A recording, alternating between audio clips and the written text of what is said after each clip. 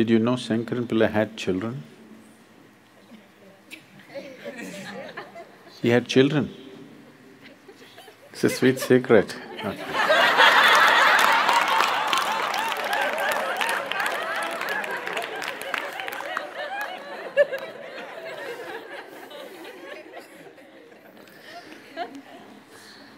So one day, Sunday, Shankaran Pillai met his three sons and told them, you good for nothings, do something good in your life. If you do good things, good things will come back to you yeah. Accent acha hai?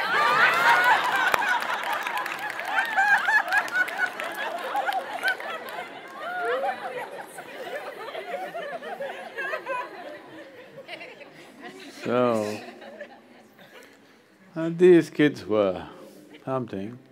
They said, Father, what are good things? How to do good things? Such a thought had never occurred to them.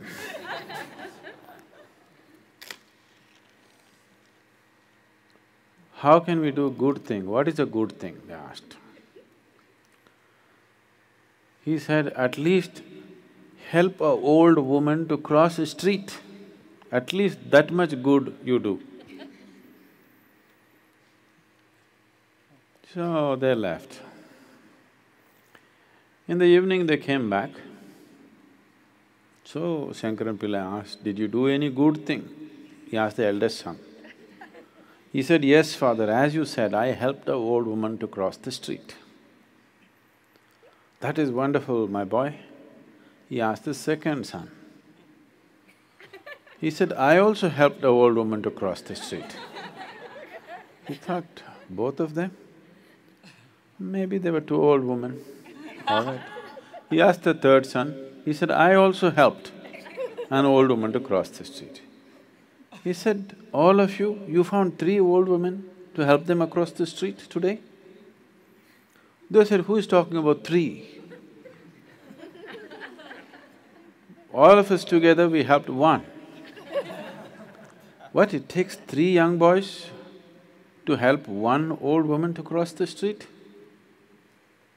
No, even we three were not enough. You know our cousin Ramu, we also took his help.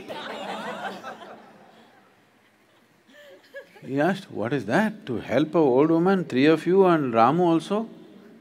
Said, yes, you don't know how stubborn this old woman can be. she did not want to cross the street.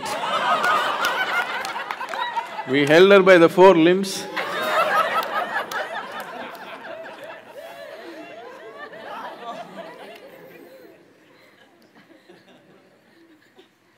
So, a lot of good things are being done in the world.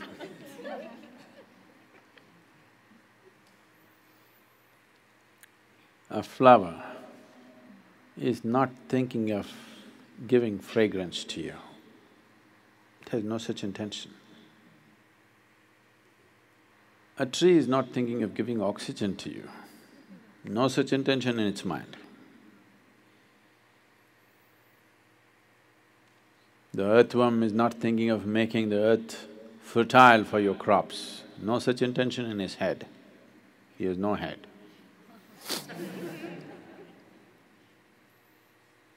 But whatever they do, they're doing good things. Yes or no? Whatever they do, whichever way they live. If they eat, they're doing good things, if they shit, they're doing good things. Isn't it so? Because they're just being themselves. They're living according to their nature. So they don't have to think of doing good things. Only because human beings are not living according to their human nature, they have to think up good things.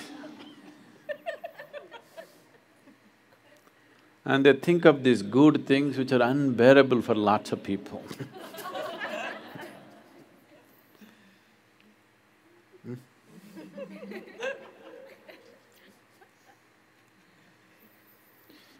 So,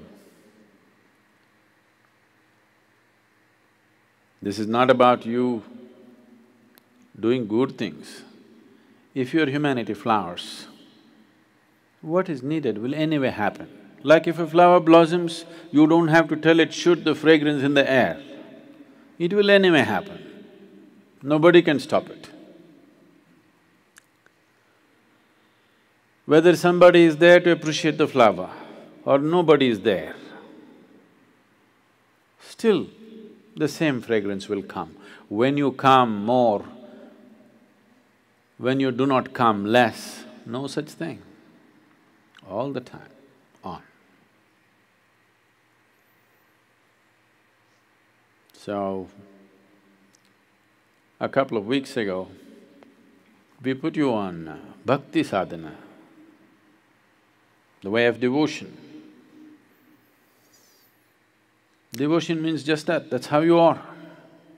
You're not acting it up when you see one particular person. Sadhguru, like this, somebody else, hmm. This is an act, this is not going to work.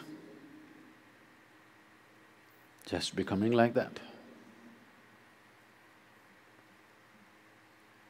Becoming like that, not by training, by digging little deeper.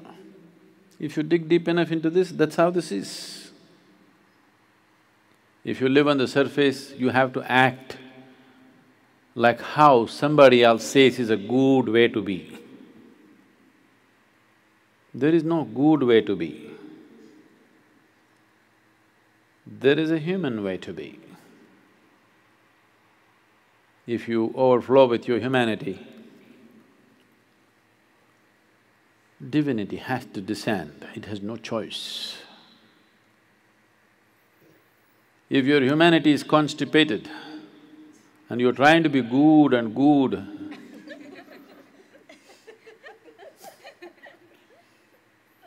good is not going to work.